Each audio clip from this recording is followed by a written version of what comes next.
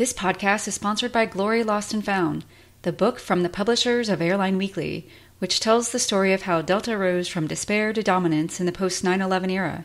Glory Lost and Found is now available as an audiobook on Audible and iTunes. It's also on Kindle and in paperback. Hop on Amazon and search Delta Book. We started this podcast about a year ago, and episode one was titled, Can It Get Any Better? And we were referring to how remarkably well the U.S. carriers were doing at the time and whether they still had more room to run.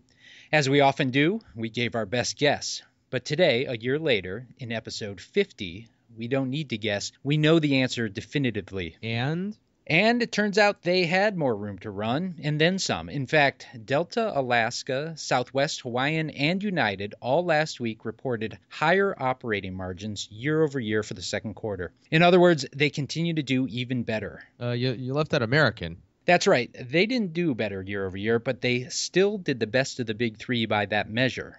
Weird, huh? I'm Jason Cottrell, Vice President of Airline Weekly. And I'm Seth Kaplan, managing partner of Airline Weekly. We're going to try to unpack the U.S. airline earnings reports so far, and we'll continue a recent conversation about Azul because they reached out to us with a little more insight. We always appreciate more insight, and we appreciate you listening to the Airline Weekly Lounge, episode 50, coming up right now.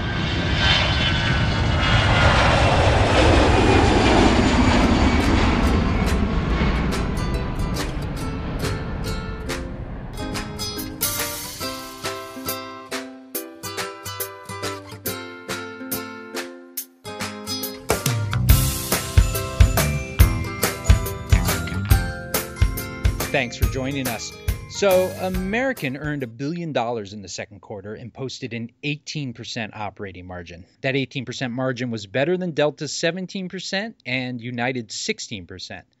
So, Seth, does that mean American is the most healthy airline of the three? It doesn't, Jason. Uh, we discussed last week how Delta's results were impacted by uh, well by how much it paid for fuel and also by by the fact that it, it decided to actually you might say pay some more on, for fuel purposely uh, by unwinding some wrong way hedges.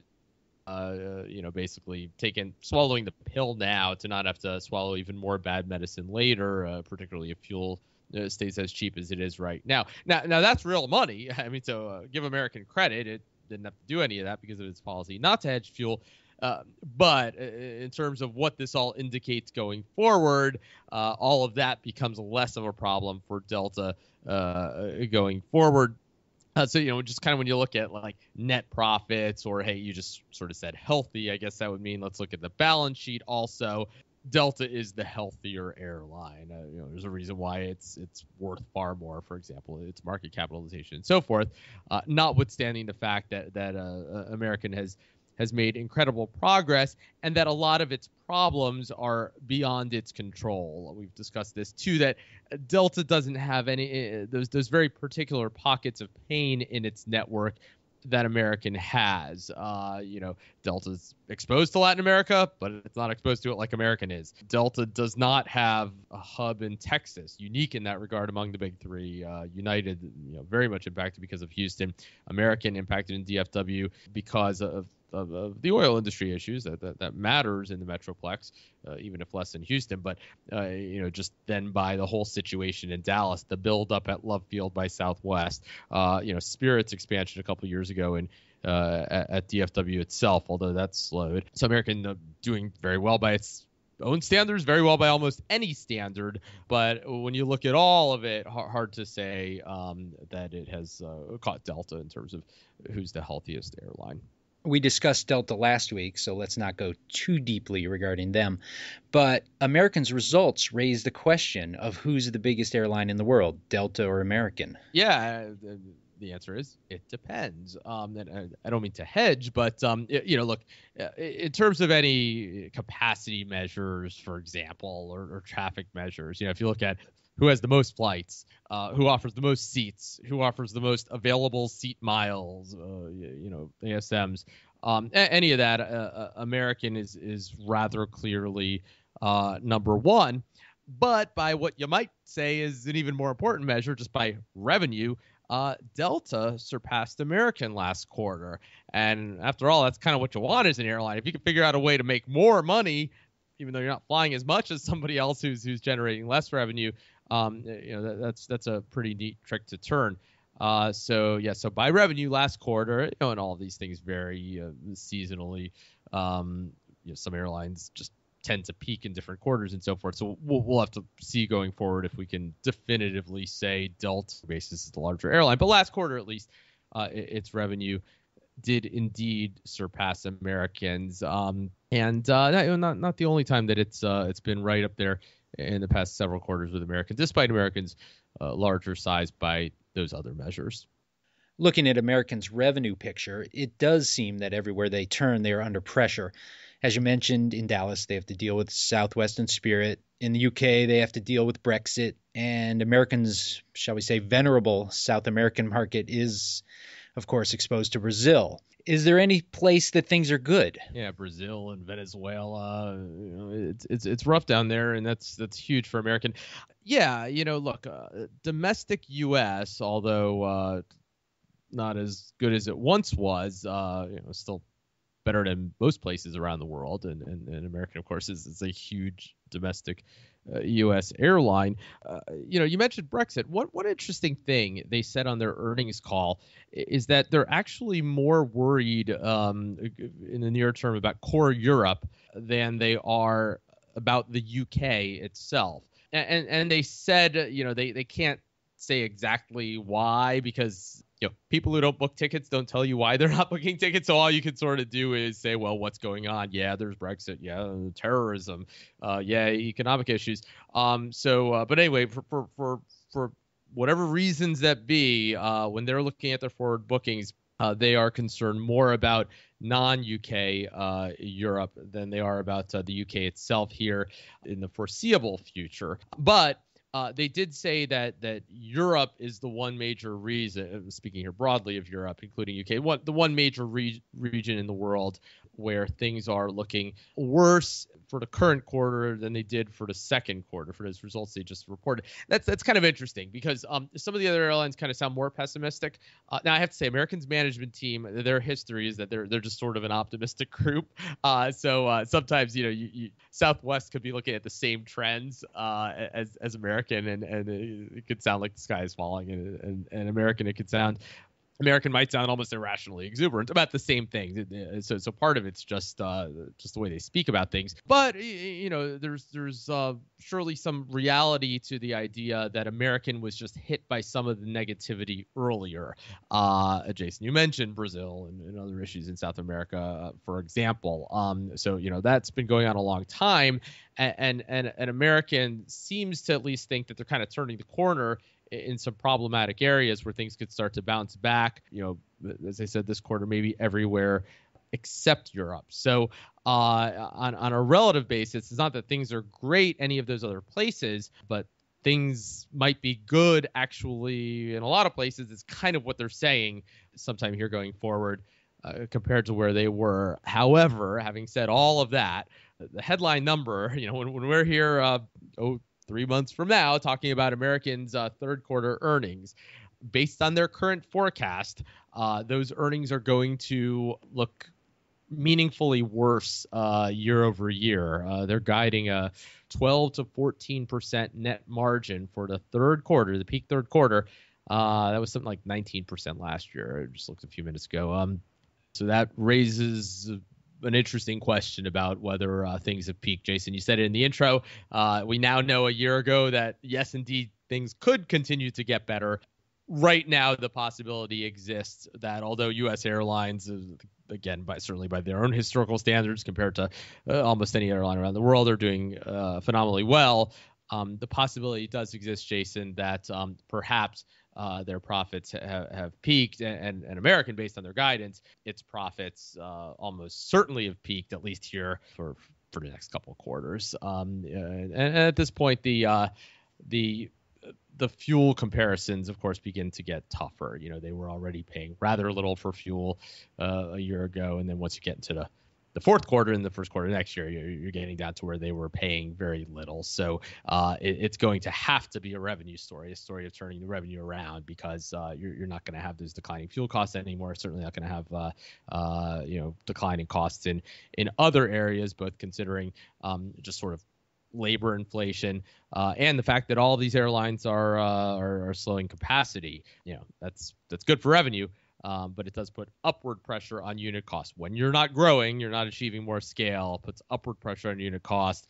Uh, the idea, of course, is to get their hands around revenue, squeeze up the fares. Um, if they don't do that, then yeah, they're going to be looking at some margin compression uh, again, albeit starting from a very high level. That didn't sound too bullish, but uh, how bullish are you on American compared to its peers? You mentioned Jason uh, before that they ha- had a higher operating margin than uh, than Delta or United for the second quarter. Uh, so that's certainly good. They're they're they're right there in the middle of the pack among U.S. Uh, uh, airlines, not doing as well as oh and, and, Southwest, but then you know almost nobody in the world is doing as well as as uh, Alaska. American though does for all of its sort of near to midterm or you know revenue issues does have some tailwinds that that nobody else has. I mean, first of all, it's you know they don't hedge fuel. That's good. Uh, when when fuel is as cheap as it is right now, it, particularly if it stays cheap. But uh, they, Jason, just signed that new co-branded credit card agreement, basically extending their relationship with uh, uh, with Barclay, which had been U.S. Airways partner, uh, and, and, with Citi, which had been American's partner, going exclusive with Mastercard. Every every AAdvantage co-branded credit card by either of those is going to be a Mastercard, and uh, you know we're talking about hundreds of millions of dollars in new revenue per year. Uh, that's something that Americans' competitors had already done. Um, so you know they're kind of locked in. The, the, the, results we've seen in recent quarters from them uh, have, have already included that. Whereas for American, that's all new money going forward. Um, that's rather easy revenue. Uh, with apologies, obviously, to people who work hard to get those deals. You know, when you can increase your revenue by hundreds of millions of dollars per year without flying anymore, you know, without having to do any of the real hard stuff and expensive stuff that you have to do as an airline, uh, that, that's that's a really big deal. So that's something uh, certainly that they can uh, that they can look forward to. Uh, you know, they've said Phoenix is is is one bright spot where they've kind of gotten the capacity uh, to a point. I mean, basically reduced the capacity uh, modestly to a point where uh, you know fares have risen and where it's a it, it's a it's a nicely uh, uh, performing market. So yeah, no, there's there's there's plenty going right at American. Moving on to United, they posted a 16% margin. That's pretty close to Delta's 17% and American's 18%. Does that mean United is gaining ground on its peers? In other words, are they making it a three person race again, or is this a one off event? They are making it a race based uh, not not only on on those results, but uh, I mentioned a few minutes ago the guidance for for the third quarter. Uh, you know, helpfully uh, both the United and American happen to sort of provide apples to apples guidance. Different airlines do different things, but the two of them uh, happen to give uh, their expectations for pre-tax profits. So this is something uh, you know we talk a lot about operating margin you know then you'd have your your your net profits your net profit margin. Uh, so so so the pre-tax profit margin is is a lot like net margin typ- typically lower than operating margin but uh, not including taxes. And the reason airlines do that is just because the, the tax burden can vary wildly just based on uh, you know airlines that have come out of bankruptcy more recently don't have to pay taxes for a long time and it doesn't really tell you about anything anything about what's happening at the at the airline today. It just tells you how, how many years ago they were in bankruptcy. Anyway, having said all that, they both guide the same way. Is the bottom line. Uh, American, I mentioned, uh, was, was, was saying uh, 12 to 14 percent for the third quarter. United saying 14 to 16 percent. Uh, so there you are. You know, if they both come in in line with with expectations, uh, you know, unless American hits the very top end of that that range and, and United the very bottom end, um, United will have uh, surpassed American uh, by that measure for uh, for the third quarter. So um, uh, you know, can they sustain it? Uh, that's uh, that's a more interesting question. Um, you know, don't forget that United, shortly after their merger, ha- had this window. Easy to forget now, Jason, because it, it, just seems like they've been a laggard for so long. But where they were performing quite well, and, and then we all know what happened. The wheels uh, kind of fell off, least on a relative basis compared to the other U.S. airlines. You know, we'll see. On the other hand, Jason, uh, you know, back to what you were asking before about sort of uh, reasons for optimism for American. Uh, don't forget, American's merger was completed much more recently. Yeah, they have uh, one res system now, and of course one operating certificate, but um, not all the synergies are in place yet. I mean, you know, for the most part, you still kind of have, you know, most of the U.S. Airways aircraft flying from the U.S. Airways hubs and and and and the American aircraft from the American hubs and, and other things where in some ways uh, it's still operating as two airlines, um, even from in terms of certain technology. And so uh, there's been a lot of upside there too. Uh, just, just for sort of really putting all the planes and people in all the right places. Uh, you know, that's an opportunity United doesn't really have anymore. They've done that. Um, whereas, whereas American does have that going forward. And again, Delta just sort of generally the uh, the more profitable airline. So, uh, so United has an opening. It needs to walk through that door, I guess, to uh, continue that analogy. Okay, in its second quarter report, United saw a 10% unit revenue decrease on transatlantic routes.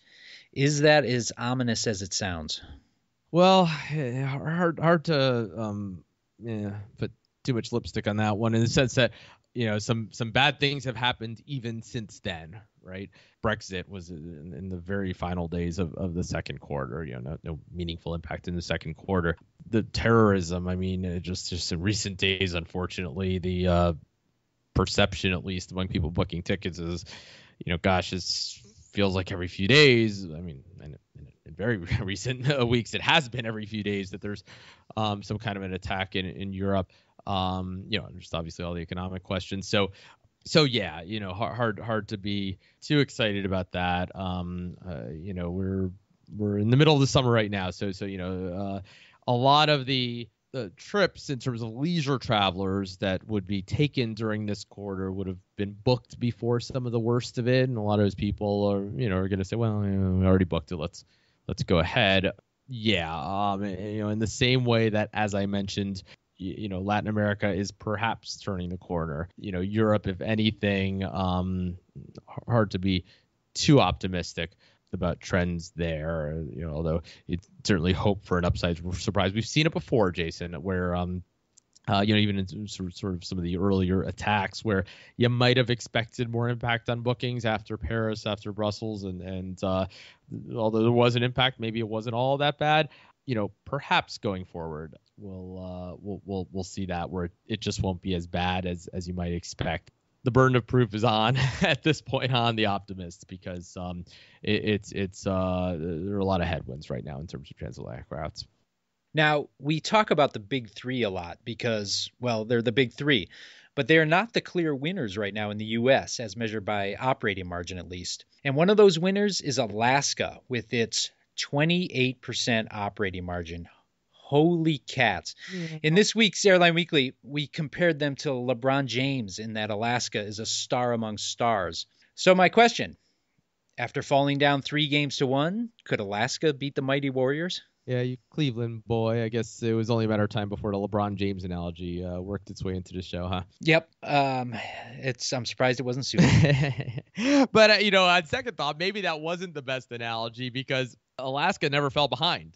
Then again, they're not Stephen Curry either because they you know because they won. Jason, I gotta tell you, um, I like to think I'm right more often than I'm wrong about things. When you know you ask me about expectations for for the industry, this is one where I would have been wrong had you asked me uh, two or three years ago. I guess I'm lucky we weren't doing the podcast then, right? Because because uh, it's yeah, this isn't documented. But had had you asked me when Delta was sort of really starting its assault on Alaska uh, in the Pacific Northwest, if Alaska could keep putting up the kinds of margins it was putting up, my answer would have been, and you know, other people did ask me that, you know, my answer would have been, look, they're going to be fine. Uh, they're they're extraordinarily successful, well managed airline, one of the more profitable airlines in the world. But there's no way uh, they can weather this storm with with with no impact. I mean, you just can't face the kind of capacity onslaught they've faced there without feeling some impact. And I would have been wrong about that. I was wrong about that because, uh, you know, here they are. Uh, yeah, just um,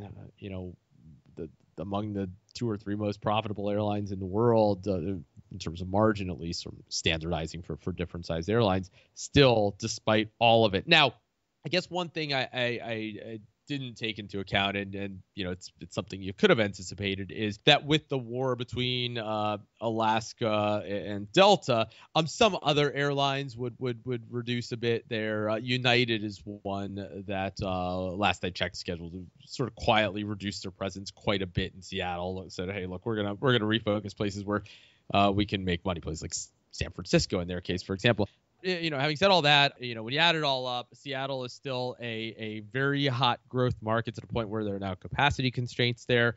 Portland very competitive just in general. The Pacific Northwest, everybody knows the economy there is good there, so everybody's piling in. Uh, you know, Spirit is in Seattle now, so yeah, they, but they they just uh, keep keep doing what they're doing, and then they do it the same ways they've always done it, just sort of deft, uh, you know, seasonal scheduling and, and capacity management and then you know partners with uh, all kinds of airlines from everywhere. I just saw got a press release today. Qantas put its code on some new uh, uh, Alaska routes.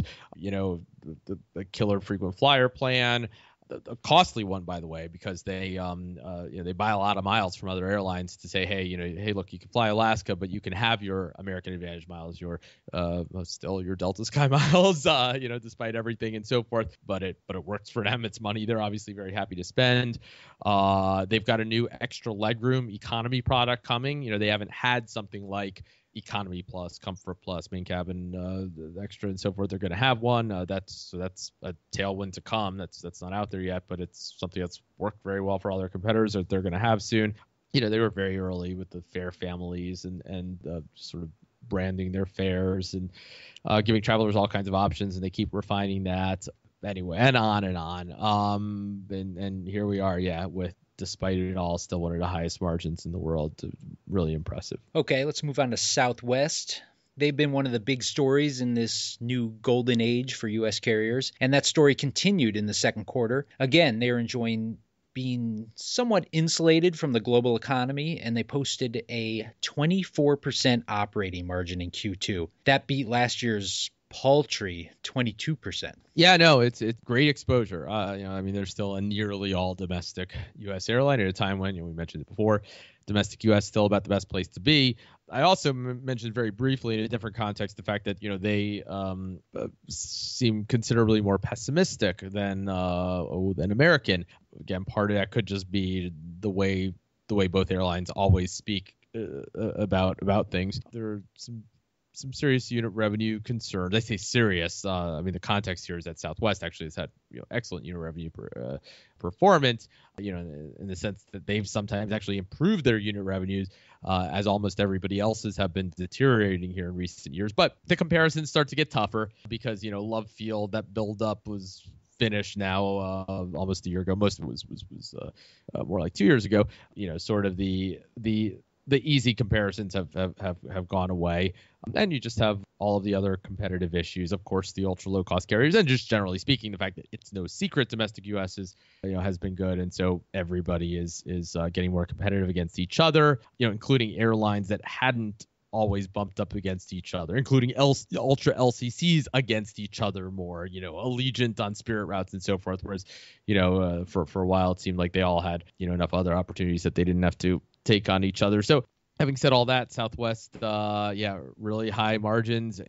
They always get the questions about uh, things they uh, perhaps should be doing, uh, the bag fees and, and you know the rest of it. And they got questions this quarter about capacity.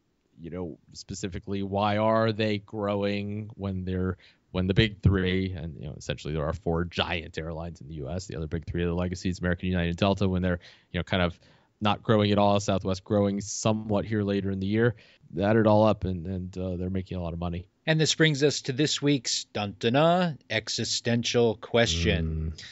Seth, who'd you rather be? Southwest, with its amazing network and its ability, that is, if it wanted to, start charging for bags, or Alaska, who has seemingly magical abilities to achieve dazzling operating margins? Mm, wow, that's uh, That's a that's a tough one, but um, yeah, I. Oh, wait, let me stop you. Remember, the existential question used to be between two miserable right. airlines, and yeah, this is just the opposite. Yeah, who'd rather be Air India or Pakistan International, right? Um, it's definitely that, that's not what we're talking about here.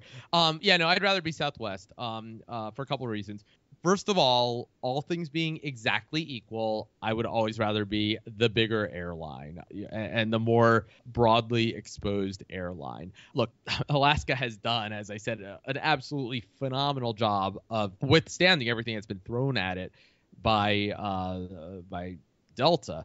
But you know, it still is an airline um, concentrated in Seattle and Portland, Pacific Northwest, and along the West Coast in general. Now, it's soon going to have a, much broader exposure. It's of course buying Virgin America, so, assuming that all uh, you know everything sells through in terms of and a, you know, regulatory clearance and so forth. So it's going to have huge hubs in Seattle, Los Angeles, and and uh, yeah, and broader exposure. But on the other hand, uh, that does bring with it the challenge of uh, uh, of turning around what will then be a part of Alaska Airlines that has been the um, the laggard in, in, in the U.S. industry if anybody can do it, they can. You know, they, they've, they've got a great track record, and just consolidation per se is is is very helpful for for uh, you know for the industry. But you know, they've got that.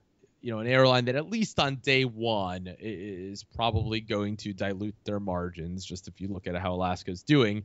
Uh, today, whereas um, you know Southwest has the very broad exposure, you know, just an absolute killer network, and and that Jason is that's the secret sauce at Southwest. Just just this amazingly dense network that no nobody else can really replicate. I mean, nobody else can just have planes up and down seven times during the day, touching all these different cities, and uh, you know, basically dozens of hubs, whether you call them that or not. That's what they are. All these places where people can connect, and and uh, it all results in lots and lots of, of corporate travel friendly nonstop routes and markets that, that in many cases nobody else is ever going to figure out how to do because it only works if you can do it as part of this other thing. And any day they want, they can decide to charge for bags. Any day they want, they can decide to go into the online travel agencies, you know, Expedia and so forth. Any day they want, they can uh, start assigning seats for for a fee. You know, you know, maybe waiving the fee for elite travelers and so forth. Uh, although that one, I think it becomes more viable once they get to the new reservation system. Anyway, all kinds of opportunities there that you know they have their reasons for for not doing, but things that pretty much every other airline that's done those things has uh, has increased its profit. You know, maybe maybe there's something different about Southwest that that wouldn't be the case there, but it, it, it but it certainly is fun to think about. Well, if they're already doing this well, then ha- then if they did those things, might they be the uh, the uh, leader in the industry if they could add, you know, maybe several hundred million dollars a year to their bottom line, uh, if not more. In, in the same way that other airlines have, have, have done when they've done those things. So uh, I think I'd rather be Southwest. Okay, sounds reasonable. Uh, let's see. We'll talk about Hawaiian and Spirit and JetBlue and many other carriers outside the U.S. next week. I'd like to close this show with Azul. Uh, we were talking about them two weeks ago, and we got the attention of at least one member of its executive team. Apparently, they are addressing some of our concerns about aircraft utilization on their long haul routes. Yeah, and, by the way, a, a, a, real neat opportunity to learn some more about an airline that's not publicly traded. Um, so uh, uh, obviously, all airlines are you know have their have their secrets that they don't reveal, uh, you know, even in earnings calls or in regulatory filings. So the airlines that we've been discussing on at least today on this show, for example, you know, they they all publish quite a bit. Azul, not publicly traded, they at one point planned an IPO, but then you know, we all know what happened in, in, in, Brazil, and that was even before the worst of it. Um, so uh, you know, so so they don't have to publish as much as, as everybody else. You know, they, they reached out and, and to say that they uh, that they agreed with uh, with some of the things we said, disagreed with some other things, and and uh, yeah, just just as I said, more broadly, just kind of an interesting. Uh, opportunity to learn a lot more about them. But specifically, uh, you mentioned the aircraft utilization. I brought up the point that you know one just sort of tough structural thing about flying between North and South America is that you have inherently poor aircraft utilization, I should say, between deep South America and, North America, Argentina, Chile. Uh, and that's because uh, just the way uh, time zones work and so forth. Whereas, uh, let's say if you're flying between North America and Europe or, or lots of other North long haul markets in the world, you could keep the airplane in the air most of the day. Uh, between North and South America, typically uh, I said people want to fly at night, and precisely because you don't have a big time zone change, it, it just tends to mean usually, you know, the plane takes off from uh, Brazil late at night, arrives in you know, Fort Lauderdale in the morning, and then just sits there all day. Uh, because I said, you know, people don't want to travel during the day on those routes; they want to take advantage of going overnight. Well, Azul, uh, first of all, pointed out that actually in Orlando, uh, they are doing now a daytime rotation back. So they do what I just said. They leave Brazil at night. They arrive, uh, in that case, in Orlando in the morning. But then they do turn the plane back down to Brazil. And they said that they said they don't have a major impact. They haven't seen a major impact on on revenues. And they said uh, actually some families seem to uh, prefer it. So th- uh, there you might have a distinction between when I was talking about oh people, you know, I was talking about corporate travelers, obviously the the ones who uh, you know who are more schedule sensitive, who want to take advantage of the overnight flight. But Brazil uh, or Azul rather, um, uh, you know, as, as a low cost carrier that um, you know sure is happy to have a corporate travel, but uh, uh, you know, big fee, fee, uh, focus on leisure travelers, says that uh, there are actually some families that are happy to do it. That you know, I guess don't want to uh, uh, travel overnight with the with the kids. Also, with Azul expanding its lie flat business seats from 20 seats to 35, we presume that was a way to cut capacity. But they're telling us that's not the reason. Yeah, 20 to 35 uh, per aircraft on, on its A330s. Yeah, so so what we guessed was exactly what you said. Uh, that we said, well, you know, it's just taking seats off the plane one way or another. So just kind of trying to trying to make lemonade and say, well, maybe somebody will, will buy the business class seats, um, and and if not, well, it's it's uh, just a, a, a, a, the capacity reduction one way or the other. But yeah, they said no. They said that business class demand um, has been uh, reasonably resilient. Uh, you know, they said, look, with business travelers looking for value. I mean, you can imagine if you're a, a corporate travel manager in, in, Brazil right now, you're looking to save money. You know, it, it's uh, they offer a product that's competitively priced against against the other airlines, basically American and and uh, TAM or you know now Latam uh, in the market, and um, they said it's just doing reasonably well, and and uh, you know they they see it as a tool to bring high yield business travelers from all over Brazil, connecting in their Viracopos hub near near Sao Paulo. At least doing reasonably well, uh, you know, given the circumstances that that you know that everything there is challenged right now. And they tell us that JetBlue plays a rather big role in adding viability to its U.S. flights. Yeah, uh, you know, JetBlue, a big carrier, uh, certainly in Fort Lauderdale, also Orlando. Uh, they gave Boston uh, as an example of one market where you have people connecting uh, in those places, in Fort Lauderdale and uh, and Orlando, between Brazil and Boston. So they said that, they, yeah, JetBlue actually um, makes a, a lot a lot of what they do viable, uh, you know, maybe maybe in a way beyond um, what we uh, what we appreciate. Uh, they did, by the way, Jason. I mentioned agree with uh, some of the things, uh, just just specifically, yeah, the, the, the visa situation that it's just it's very difficult for somebody to decide, uh, you know, let's say to stimulate traffic. Somebody say, yeah, let me run down to Brazil. I can't do that, um, and and that's particularly challenging right now because that's exactly what you if you're Azul what you would want to be able to do. Uh, you know, Brazil is is is a great value right now um, for for uh, for somebody trading in a strong currency for an American, and they, they can't do that. And of course, the uh, just mentioned the currency issues, the economy. They uh, you know they said moving the A330s over to TAP, which uh, of which they own part, uh, has um, they said been great um, for for TAP. Uh, you know, it's it's enabled TAP's new service to Boston and, and JFK. And uh, by the way, I mean, we mentioned before those daytime rotations. Uh, they said, you know, being able to do that, they themselves Azul fly uh, to Lisbon. They said that's that's actually been very uh, positive for them. Uh, they agreed with what we said about the Olympics and and uh, you know the World Cup. Uh, the Olympics, just as happened during the World Cup, stifling uh, corporate demand, and and and they said that'll uh, you know that'll certainly be the uh, the case here as well. Um, and uh, they they said things are recovering. Um, uh, you know, sort of uh, echoing what what American said on, on their earnings call about some markets. You know, basically, uh, they they they seem to think the worst may be behind them. Just a couple other notes, Jason. Just because, like I said, this is all just such a rare opportunity to learn a lot about an airline that doesn't, you know, uh, publish as much as some others. I mentioned the uh, the E190s and how uh, yeah, it's you know fewer seats to fill, good and thin markets, but higher fares to cover the higher unit costs. They agreed with that, but they said they get those fares. They said uh, they said the fares they get compensate, and uh, they said in fact they have the highest corporate fares in Brazil, even though they have the lowest average stage length. They're getting paid more for uh, flying fewer miles, and they cited um, government data. This is uh, something where you do have to file uh, certain data with the government in terms of uh, you know fares and so forth.